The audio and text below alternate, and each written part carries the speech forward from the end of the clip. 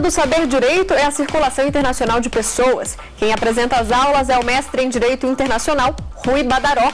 Ele fala sobre os movimentos migratórios, passaporte, visto, turismo e muito mais. Você vê agora no Saber Direito. Olá, estamos no programa Saber Direito e ao longo desta semana trabalharemos a questão da circulação internacional de pessoas sob o prisma do turismo. Em nossa primeira aula, nós discutiremos os movimentos migratórios. Na próxima aula, na segunda aula, a liberdade de circulação de pessoas no âmbito internacional. A terceira aula guarda o assunto relacionado aos vistos e passaportes. A quarta e quinta aula trabalharão com os temas do turismo, portanto, a circulação internacional de pessoas sob o prisma do turismo, e a quinta e última aula sobre o Código Mundial de Ética do Turismo ou o Código Mundial de Ética para o Turismo. Eu sou o professor Rui Badaró, leciono Direito Internacional Público e Direito do Turismo. Bem-vindos ao programa Saber Direito. Pois bem, os movimentos migratórios nos conduzem a mudança de um lugar para o outro. E sempre passei a me perguntar qual a importância dos movimentos migratórios. A questão dos movimentos migratórios está afeta ao ser humano, está afeta ao Estado. Pois bem, lembro-me como se hoje fosse logo no término do meu curso de Direito, que um colega recém-formado, aprovado em uma pós-graduação nos Estados Unidos, me procurou nervoso, né, totalmente é, triste, chorando e não sabia o que fazer.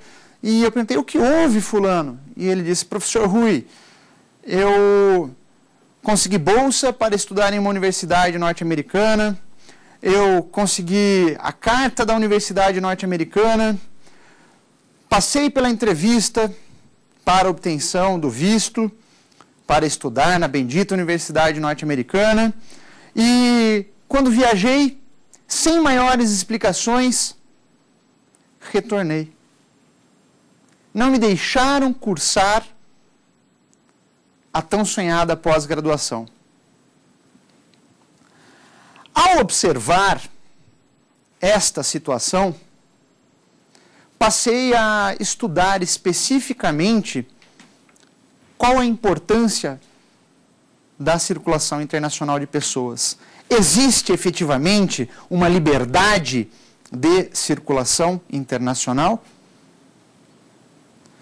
Por óbvio que este colega até mesmo poderia demandar nos Estados Unidos demandando, portanto, maiores explicações sobre o ocorrido.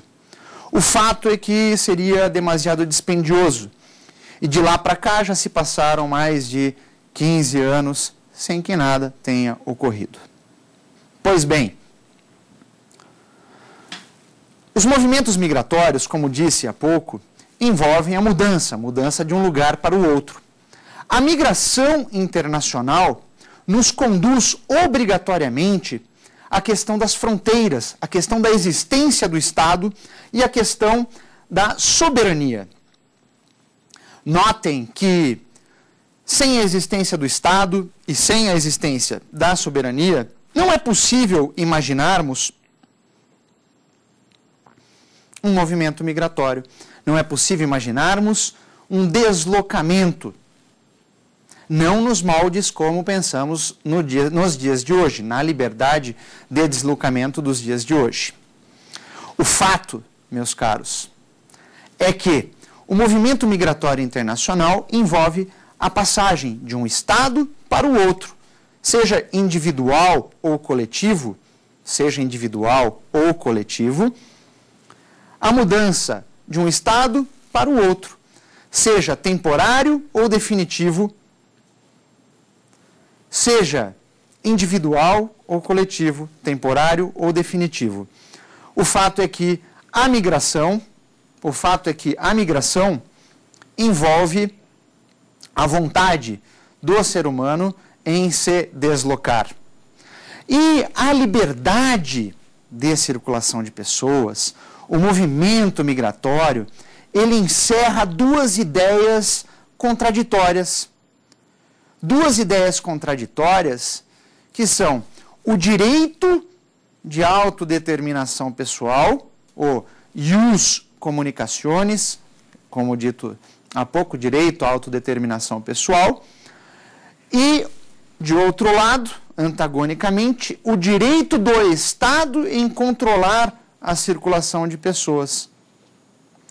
E essas ideias são ah, antagônicas porque, de um lado, nós visualizamos como algo natural o direito de ir e vir, de poder circular, seja sob eh, os auspícios de uma mesma fronteira ou para outros lugares, para outros estados. Mas, mas,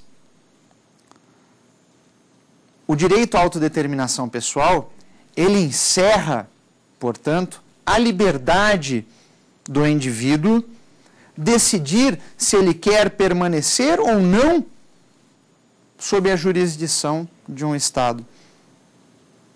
E de outro lado, o direito do Estado em controlar a migração, a liberdade de circular, é aquele direito que justamente especifica quando e de que maneira o Estado poderá limitar o seu direito de autodeterminação pessoal. Pois bem, meus caros, o direito de emigrar, o direito de emigrar encerra a liberdade do indivíduo de evadir-se de seu estado. O direito de emigrar ele encerra um direito inerente à pessoa humana, implicando a liberdade de ir e vir. Em seu cerne, o direito de emigrar traz a essência de duas ideias, como disse, contraditórias. Gravem o direito à autodeterminação pessoal e o direito do Estado controlar a emigração. Nós temos agora uma pergunta. Qual a diferença de imigração e imigração? Emigração significa a saída do indivíduo de seu estado para um outro território. E a imigração, a entrada de indivíduos de outro estado num, no primeiro território. Tá? Imigração, receber estrangeiros, receber indivíduos de outro estado. Emigração, enviar indivíduos para outro estado. Imigração, de um estado para o outro. Emigração, saída de indivíduos do estado para outro território e migração entrada e migração saída. Respondida a dúvida, observem que a emigração pode ser individual e coletiva, pode ser temporária e definitiva, e existem outras N classificações sobre a emigração, que é uma questão basicamente doutrinária, as formas de se classificar a saída do indivíduo de seu território para outro estado. Dando continuidade à temática dos movimentos migratórios, migratio, do latim mudar, movimentos migratórios internacionais, a circulação de pessoas de um estado para o outro, que encerra o conteúdo do próprio Estado, da existência do próprio Estado. É de suma importância compreendermos a importância dos movimentos migratórios ao longo da história e nessa perspectiva cabe a nós identificarmos vários pontos da importância dos movimentos migratórios. Notem que regiões do mundo que em que circulavam as pessoas de modo bastante intenso desenvolveram-se sobremaneira. Roma, as diversas cidades chinesas, indianas. De outro lado, cidades em que a circulação de pessoas era diminuta, pouco se desenvolveram. Esta é uma constatação que nós devemos, de plano, registrar. No que tange os aspectos históricos da migração, no que tange os aspectos históricos da migração, nós temos que, pré, na pré-história dos movimentos migratórios, pode-se afirmar seguramente que a Ásia é o berço da emissão das emigrações para o restante do globo. Já no período da antiguidade, no período da antiguidade, nós temos diversos movimentos migratórios, sejam eles de massa ou individuais. Sejam eles de caráter de beligerância, de guerra, sejam eles de caráter, por incrível que pareça, de lazer. Dentre os diversos movimentos migratórios da antiguidade, nota-se que, em sua maioria, foram movidos por atos de beligerância, de guerra. E por serem movidos por conflito, eles guardaram uma triste ferida, que foi a escravidão. Um povo escravi escravizando outro povo. Até mesmo porque não podíamos falar ainda em Estado nessa época. Mas o fato é que, na antiguidade, nós temos também uma série de movimentos migratórios cujo objetivo não eram estritamente beligerância, não eram o conflito. Na Grécia antiga, as diversas cidades-estados participavam dos Jogos Olímpicos. Não os Jogos Olímpicos de Pierre de Coubertin, mas os Jogos Olímpicos originais, aqueles em que Pierre de Coubertin se inspirou para criar os Jogos Olímpicos que é, hoje nós conhecemos. O fato é que havia circulação dos homens livres das diversas cidades estados em determinada época do ano para disputar provas específicas que evidenciavam né, o poder, a força da cidade-estado. Para além disso, para além disso, os Jogos Olímpicos também eram uma forma de homenagear os deuses. Notem que essa circulação não era uma circulação de conflito. Se a regra na antiguidade era a beligerância, era o conflito, em é, espaços de tempo e período, os homens livres das cidades-estados gregas vinculavam-se uns aos outros para momentos de paz por meio dos Jogos Olímpicos, inclusive para resolver contendas. Encontra-se aí o embrião da arbitragem. Por meio dos Jogos Olímpicos, das provas, lançamento de dardo e outras provas, corrida, eles resolviam contendas entre as cidades e estados, por óbvio, contendas menores. Eu sou muito apaixonado por filmes. Imagino que você, telespectador, também seja. E nessa perspectiva, nós, apaixonados pelo direito, estudantes de direito, gostamos uh, de vincular assuntos à perspectiva jurídica. Com a devida liberdade de uh, apresentação, com a devida liberdade de encenação, os filmes encerram, sim, ah, ah, como posso dizer, um, uma fina proximidade com conteúdos jurídicos. Me lembro agora de um quadrinho que depois virou filme há pouco tempo atrás, 300, de Esparta. Lembrem-se que a regra era conflitos. Então nós tínhamos ali várias cidades e estados disputando uma das guerras médicas com, contra os persas, as guerras greco-pérsicas, enfim. Uh, o filme encerra ali a possibilidade de você visualizar a circulação dentro das cidades gregas, das cidades-estados gregas, e a questão da beligerância. De outro lado, nós temos ainda na antiguidade diversos outros filmes que exemplificam claramente o movimento migratório e a sua regra, que era o conflito. O filme Gladiador, aquele com o Russell Crowe, ele também uh, encerra definitivamente uma série de elementos jurídicos, embriões de elementos jurídicos, que nos servem para a circulação internacional de pessoas. Explico.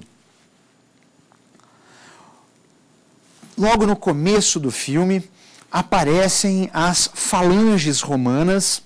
Eles encontram-se na Germânia. Espera aí, professor Rui. Na Germânia? Mas você não está falando do Império Romano? Sim, o Império Romano aquele lá da Península Itálica, de Roma, mas eles estavam na Germânia.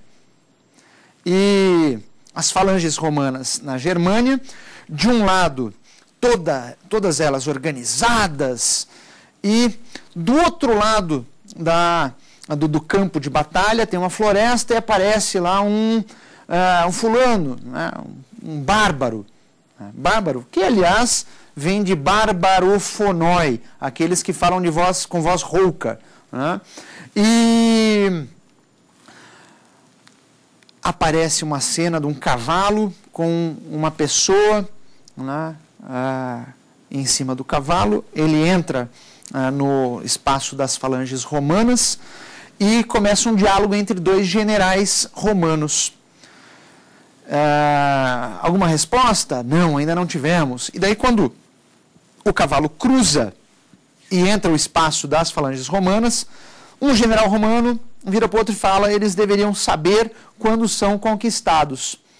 Ele se refere claramente ao fato do cavaleiro, do arauto do Império Romano estar degolado, sem cabeça. E, inclusive, ah, a cena mostra um pouquinho à frente o bárbaro, o líder do povo bárbaro, chacoalhando a cabeça do arauto romano. O que interessa para a gente é, no que tange à liberdade de circulação de pessoas. Nós temos elementos diretos e elementos indiretos. Elementos diretos, por óbvio, o Império Romano está na Germânia. Para estar na Germânia, ele construiu estradas, ele circulou com um objetivo específico, a expansão do Império Romano. Mas houve a circulação.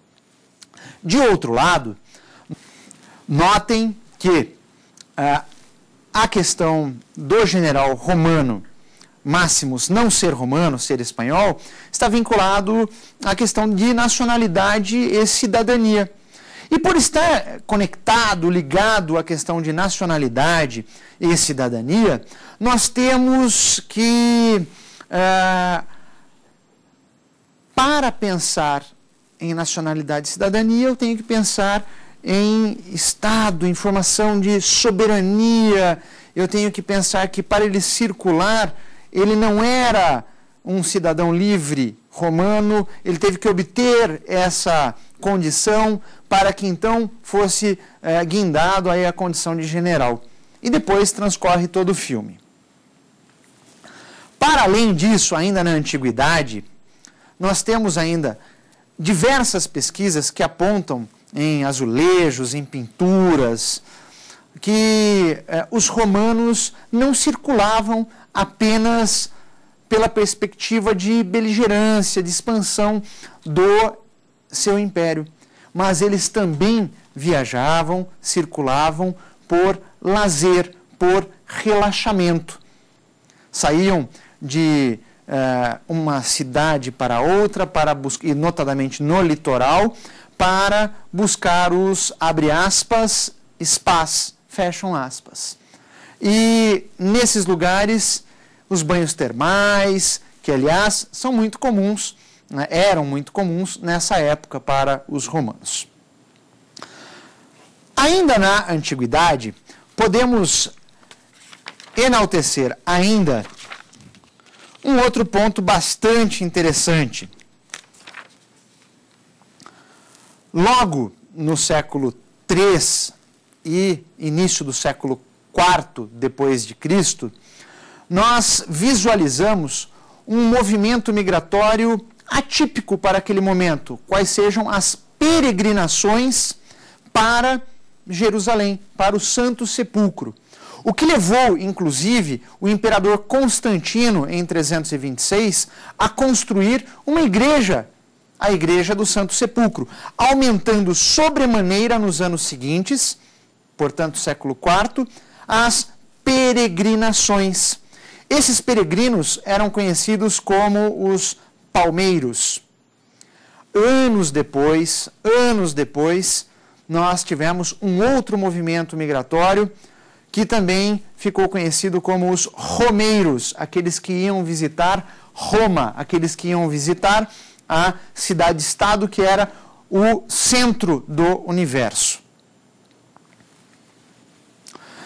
Avançando na Idade Média, meus caros, na Idade Média, nós temos uh, uma série de movimentos migratórios também. Portanto, com a queda do Império Romano do Ocidente, por conta de sua desestruturação, por conta da invasão dos bárbaros, dos godos, visigodos, ostrogodos, nós temos que no período da Idade Média, nós temos a formação dos feudos, nós temos que circular se torna um pouco mais difícil porque não há manutenção das estradas romanas, mas essa manutenção, quando ocorria, era feito pelos senhores feudais e mal e porcamente realizadas. Mas começaram aí as cobranças dos primeiros, uh, as cobranças pela passagem pelo território, pelo feudo, uh, pelas estradas, se ainda existissem. Circular na Idade Média era caro, era caro, e uh, podemos afirmar seguramente que não era interessante. Mas, ainda assim, nós temos uma série de uh, pseudos movimentos uh, migratórios ao longo da Idade Média. Dentre eles, podemos apontar que os primeiros éditos que regulamentavam a entrada de peregrinos em Roma, que inclusive os cadastravam e instituíram cobranças para sua permanência na cidade de Roma. Lembrando que o Império Romano já havia ruído. Nessa linha, entre os séculos 7 e o século IX, os deslocamentos eh, eles se desenvolveram sobremaneira. Mas esse desenvolvimento ele tinha caráter temporário. Caráter temporário porque o cidadão circulava com o objetivo específico de negociar apoio com o maior número de senhores feudais, evitando entrar em beligerância. No mesmo sentido, é que no século IX nós tivemos a descoberta, entre aspas, lembrando com a devida uh, liberdade aqui de, de, de aula, né? não, não sou uh, um historiador, mas então com a devida liberdade poética, uh, no século IX foi, abre aspas, descoberto o túmulo, a tumba de Santiago de Compostela de Santiago. E ao descobrirem a tumba de Santiago, eles, uh, o, o, rei espanhol, uh, passou a desenvolver uh, peregrinações para Santiago. Era não interessante viajar para Jerusalém por conta das invasões dos turcos. E por conta dessas invasões, alguns vincularam-se a outras viagens, outras peregrinações, dentre elas a Santiago. O interessante das viagens a Santiago é que a primeira excursão paga da história ocorre para Santiago, no século IX. É também no século IX que é criada a Irmandade dos Trocadores de Moedas. Esta Irmandade dos Trocadores de Moedas foi de suma importância para a consolidação das peregrinações a Santiago, da, uh, do mecanismo de facilitar uh, a vinda de outros, de outras localidades que não a região da Península Ibérica para visitar a tumba de Santiago.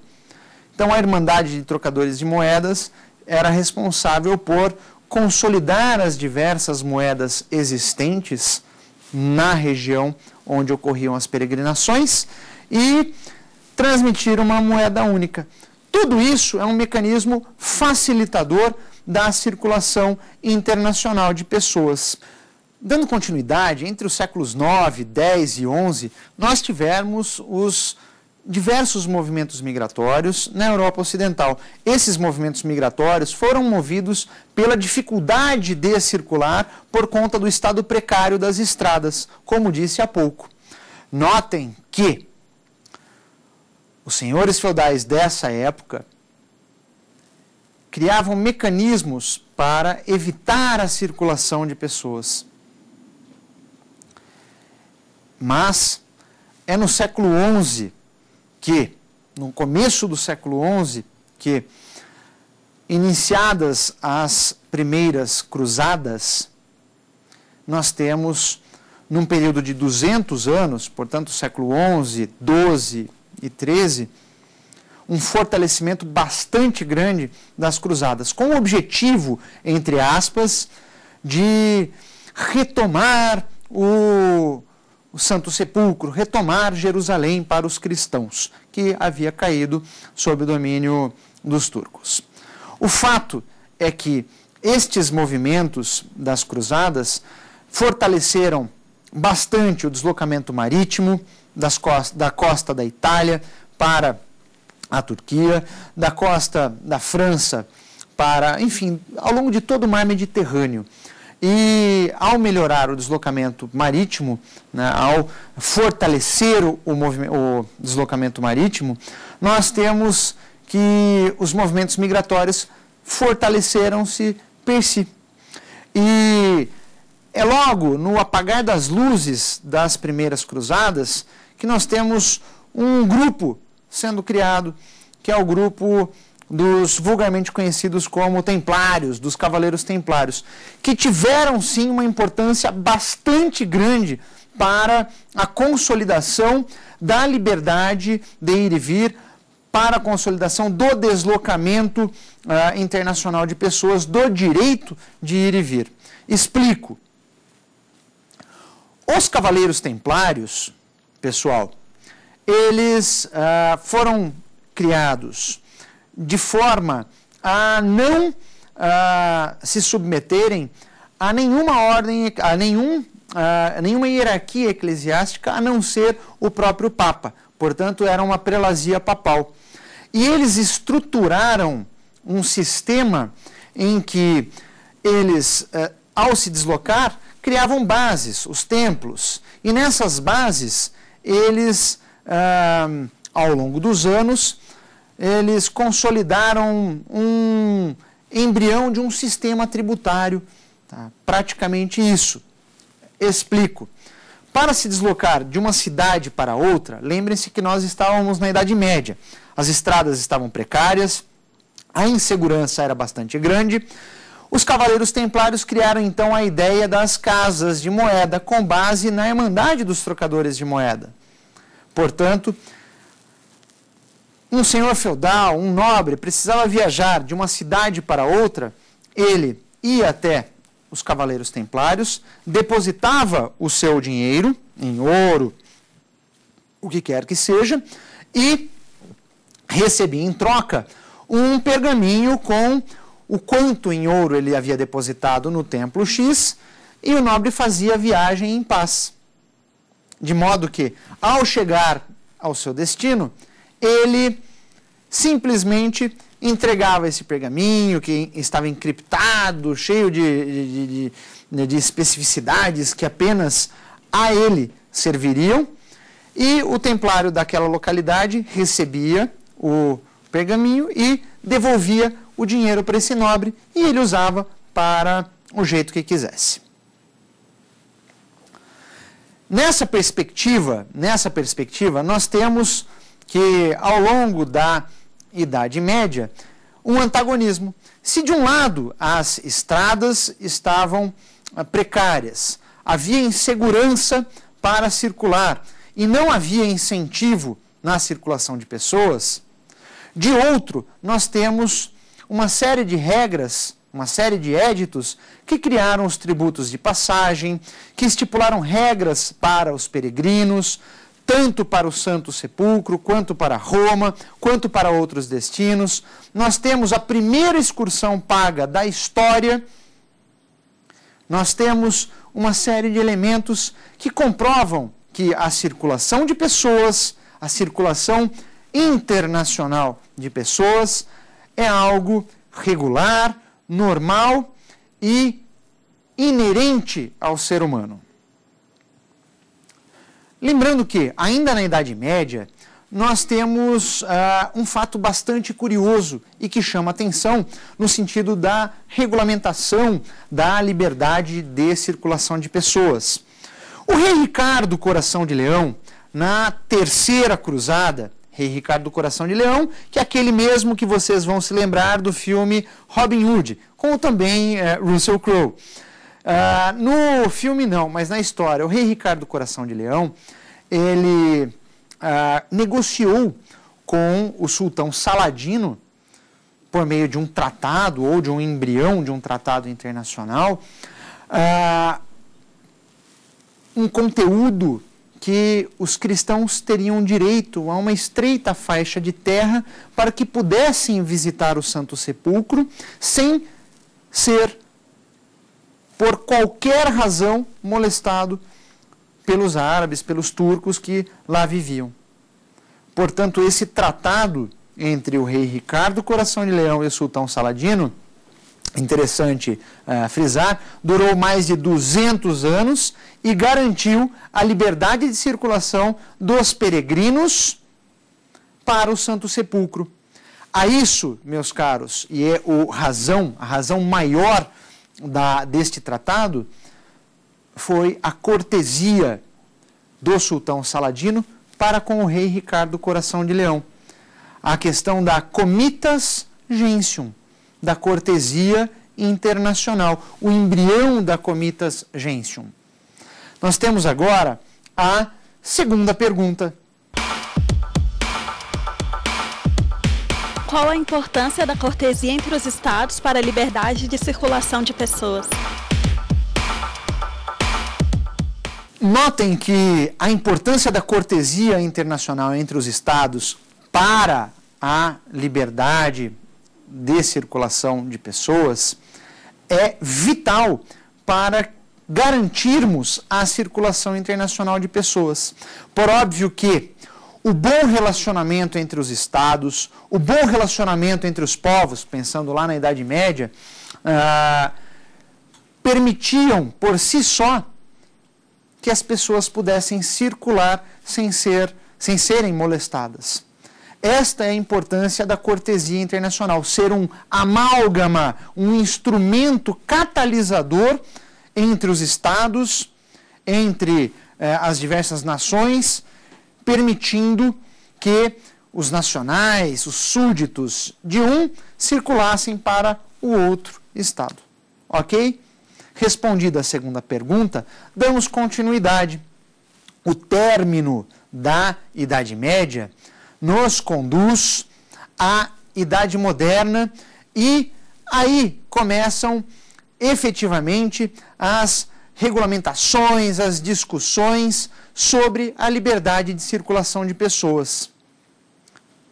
A Idade Moderna, entre os séculos XV, XVI, XVII e XVIII, encerram uma série de discussões sobre a importância da circulação internacional de pessoas, que perpassam diversos juristas, de Hugues de Groot, Hugo Grotius, até Immanuel Kant. Enfim, entre os séculos XV e XVIII, nós temos o desenvolvimento dos movimentos migratórios de massa, nós temos a expansão marítima comercial, nós temos a descoberta, abre aspas, das Américas, portanto, as viagens transoceânicas. Nós temos também uma série de discussões sobre as limitações do direito de ir e vir nos diversos estados, porque é nessa época que surge também o conceito, consolida-se o conceito de soberania e o próprio conceito de Estado. Ao longo dos séculos XV, XVI, XVII e XVIII, nós temos uma melhora significativa dos transportes terrestres. Pode-se afirmar que o primeiro pedágio de estrada terrestre da história da humanidade é criado no final do século XVII, em 1663, em Hertfordshire, na Inglaterra. A Idade Moderna encerra, como disse, uma série de discussões sobre a liberdade pessoal de ir e vir, sobre a circulação de pessoas. É bom para o Estado ou não é bom para o Estado? Se de um lado eu permito livremente que o meu súdito saia, eu esvazio o meu Estado, vou cobrar impostos de quem? Se de outro lado eu restringo a liberdade de ir e vir, eu passo a enfrentar problemas dos mais diversos. Notem que alguns juristas passaram, inclusive, a discutir a questão especificamente sob o prisma positivo. É importante que o cidadão se evada e que o Estado incentive a emigração para que nós possamos nos livrar dos problemas. Thomas Hobbes, por exemplo. Vamos nos livrar dos problemas. Vamos mandar os meliantes, os vagabundos, os sem vergonhas para fora daqui. E de fato isso ocorreu.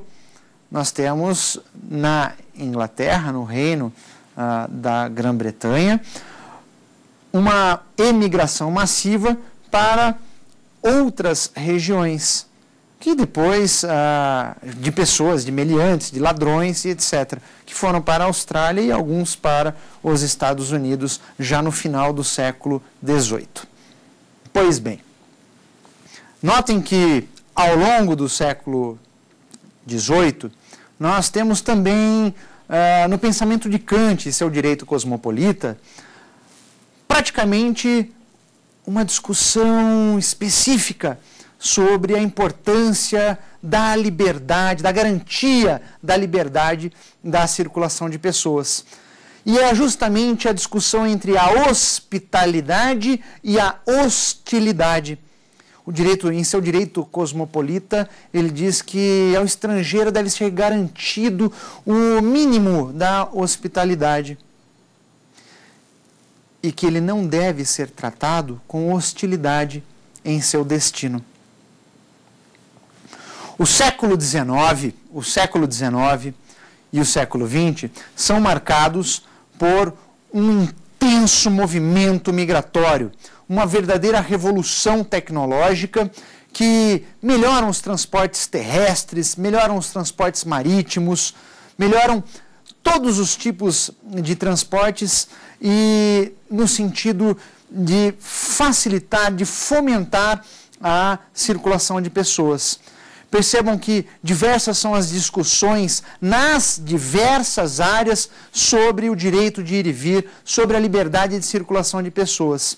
Aliás, é no livro Mémoire d'un touriste, de Stendhal, que o neologismo turista é criado, aliás, é consolidado é consolidado porque turista, aquele que faz a viagem, o tour, o grand tour, entre a Inglaterra e a França, o petit tour, e entre a Inglaterra e a Itália, o grand tour, é chamado neologisticamente, era até aquela época como turista, turista.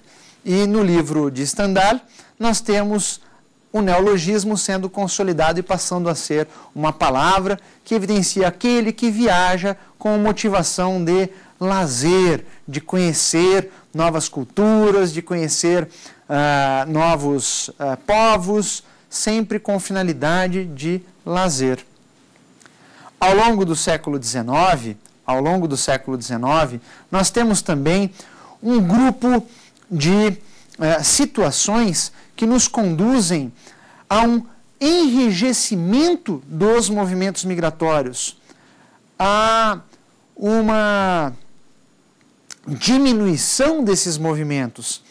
É com o processo do neocolonialismo na segunda metade do século XIX que as rusgas entre os estados europeus afloram. Afloram de maneira que, se a regra do início do século XIX era a abolição das formalidades fronteiriças, a facilitação da circulação dos nacionais, dos súditos entre os diversos estados europeus, já no início do século XX, essa discussão reduz-se estritamente ao papel e às conferências, porque nós temos, com a eclosão da Primeira Guerra Mundial no século XX, um, uma diminuição dos movimentos migratórios. Notem que, do término do século XIX para o início do século XX, nós temos um êxodo da Europa para diversos pontos do mundo. Nós temos para os Estados Unidos, para o Brasil. E, aliás, lembrei-me de outro filme. Quem nunca assistiu O Poderoso Chefão? No Poderoso Chefão 2, logo no começo do filme, você tem a chegada dos imigrantes nos Estados Unidos. Os italianos que emigraram da Itália para os Estados Unidos, chegando. E uh, a primeira formalidade fronteiriça que uh, eles passam é justamente para identificar se eles estão com varíola, com a doença X ou Y, que não me recordo agora. E nós temos a cena do menino, do que é o Dom Corleone. Olha que interessante. O menino é avaliado, ele fala o nome dele, a barreira da linguagem, o ius comunicaciones, tá? o direito da comunicação, de poder falar. É, o menino não fala inglês e o americano não fala italiano. Daí vem um intérprete, pega no, no, no nome do menino e fala: olha, esse aqui é o fulano, ele é de Corleone. E daí o policial da fronteira ele anota, ah, Vitor Corleone, e dá o nome da cidade como se fosse o sobrenome do moleque. Esse tipo de situação é bastante comum e ocorreu muito aqui no Brasil, como a prostituição também dos sobrenomes. O mesmo sobrenome, dependendo de onde o imigrante chegava no Brasil, ele era escrito de uma maneira diferente. O que faz com que nos dias atuais tenhamos que obrigatoriamente que proceder retificações de registro para aqueles que desejam a obtenção da cidadania italiana. Nós temos agora mais uma pergunta de um estudante. O que é o direito da autodeterminação pessoal? Bastante importante esta pergunta. O que é o direito à autodeterminação pessoal?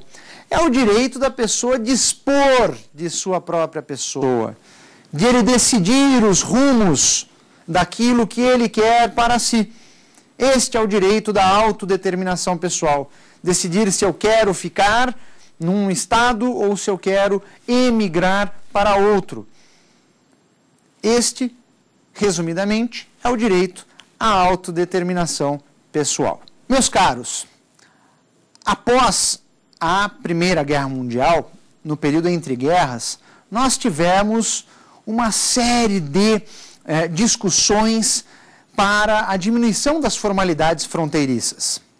Observem que o término, no término da Primeira Guerra Mundial, nos 14 pontos de Wilson, o 14 era a criação de uma Sociedade das Nações. E a Sociedade, ou Liga das Nações, foi criada e, dentre os diversos assuntos e funções dessa organização internacional, um deles era a discussão da diminuição das formalidades fronteiriças.